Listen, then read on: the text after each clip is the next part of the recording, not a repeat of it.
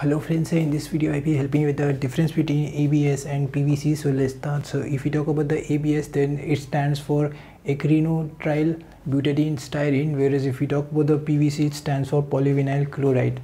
And if we talk about the durability that is uh, bearance of temperature bearance of change bearance of pressure then they are less durable or they can't bear too much of pressure temperature and other changes. But if we talk about the pvc then they are highly durable okay next thing if you talk about the abs then it undergoes photo degradation when exposed to sunlight. So the abs products or the abs uh, parts if you will uh, keep in sunlight then they will get degraded. Okay so that's the problem with the abs but if you talk about the pvc then they are resistance to uh, degradation that happens due to sunlight.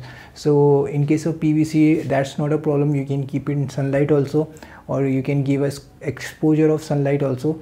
Uh, they will not degrade next thing if we talk about the glass transition temperature then in the case of abs the glass transition temperature is about 105 degrees celsius. But if we talk about the pvc the glass transition temperature is about 81 degrees celsius. So this was all about the difference between abs and pvc so if you like the video please do hit the like button. Do subscribing. And thanks for watching